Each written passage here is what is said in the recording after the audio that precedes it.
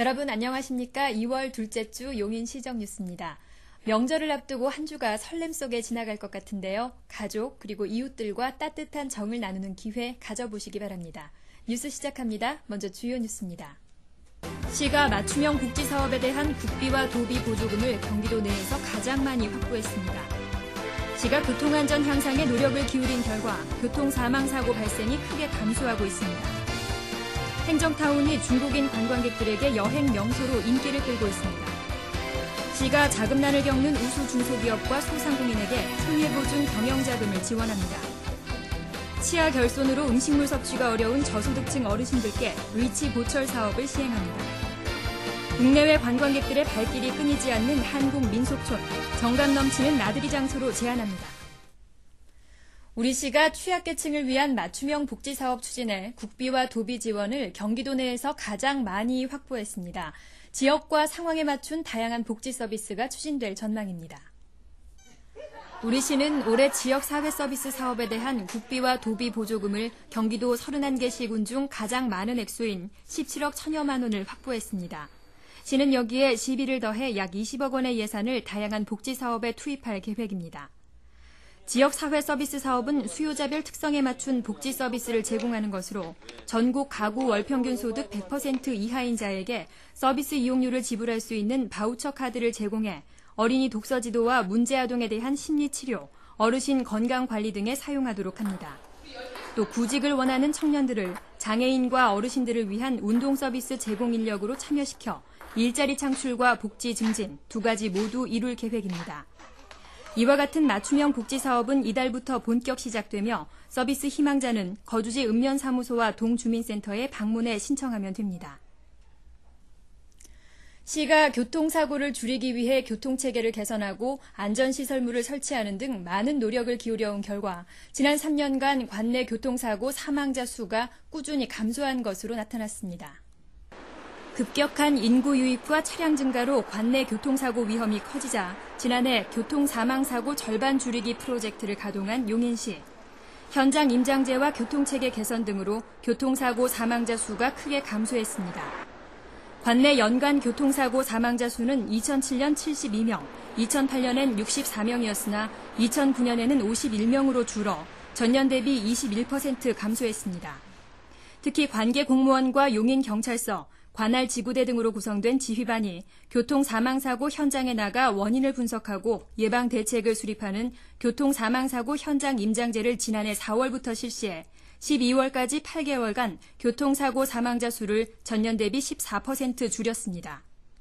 또 사고 다발 지역과 사고 우려 지역에 25억 원을 들여 교차로 구조 등 교통 체계를 개선하고 보행자 교통 안전을 위해 55억 7천여만 원을 투입해 횡단보도 투광기, 보행 잔여 표시기 등을 설치했습니다.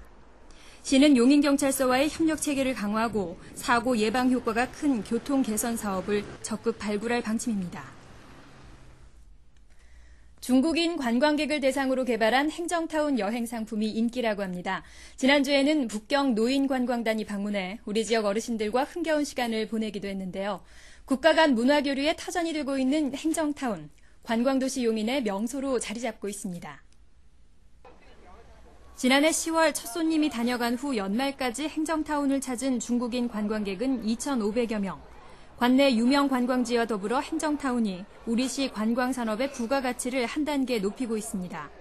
시와 경기관광공사가 한중 문화교류의 일환으로 개발한 행정타운 여행 상품은 용인을 돌아보는 관광 일정 가운데 행정타운을 방문하도록 짜여진 것으로 관광객 구성과 여행 일정 등에 따라 다채롭게 운영됩니다.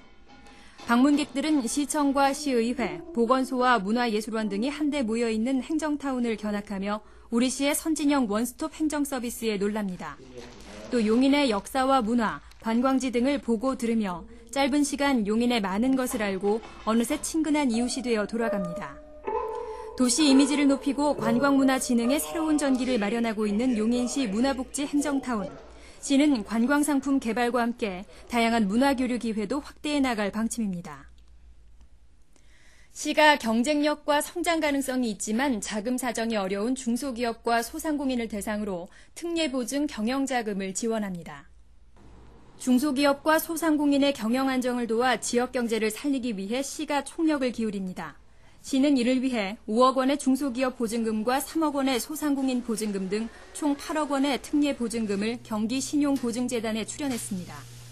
이를 재원으로 시가 추천하는 중소기업은 업체당 최대 2억 원까지, 소상공인은 최대 2천만 원까지 신용보증서를 발급, 시중은행에서 저금리로 융자받을 수 있습니다.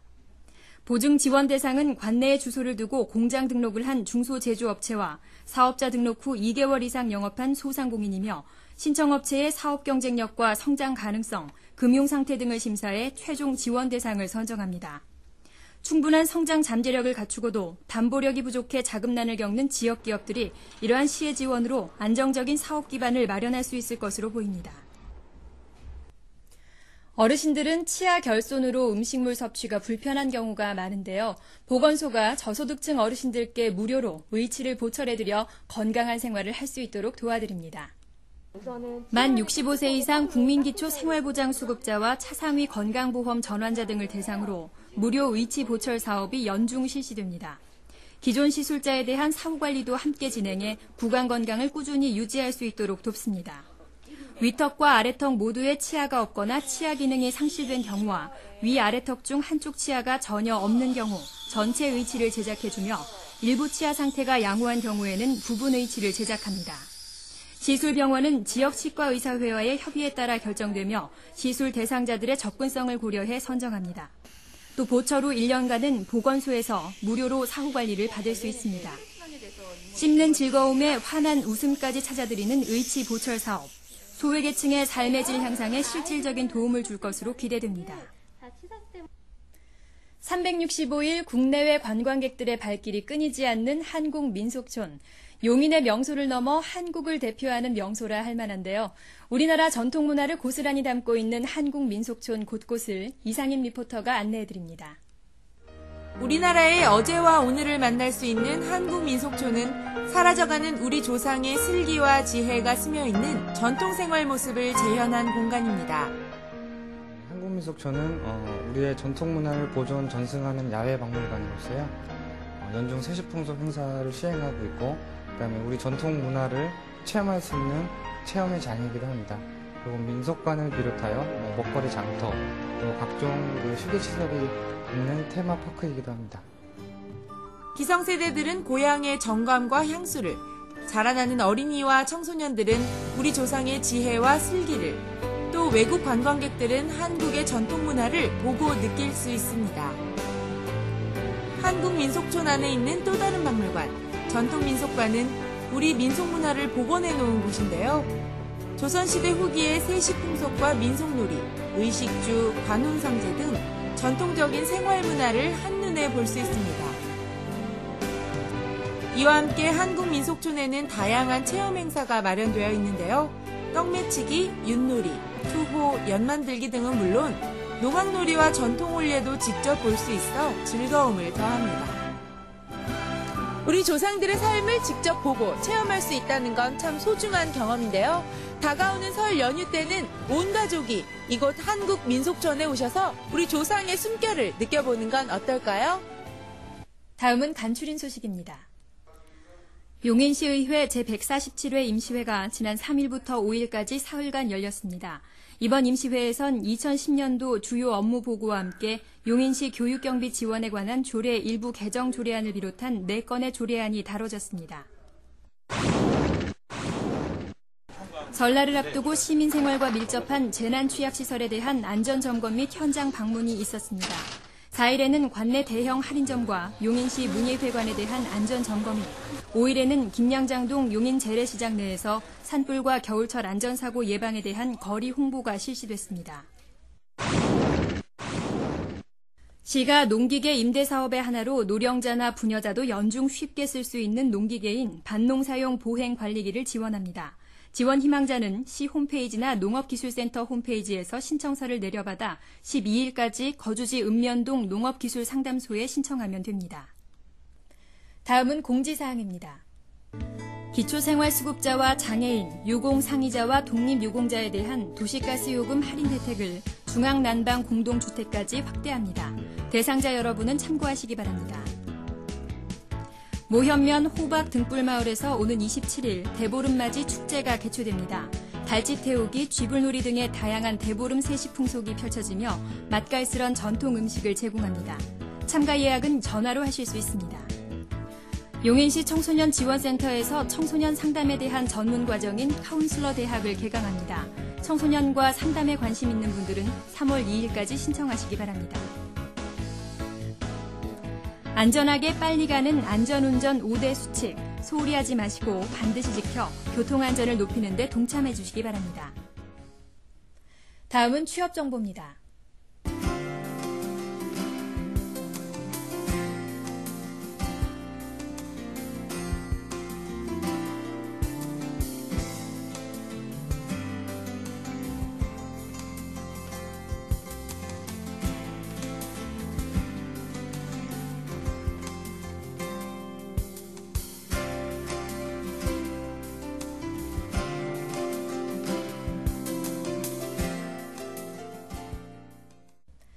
설날을 앞두고 주부님들 무척 분주하실 텐데요. 설 제수용품은 재래시장이 훨씬 저렴하다고 합니다. 흥정과 덤이 오가는 정겨운 재래시장 찾아보시는 것도 좋겠습니다.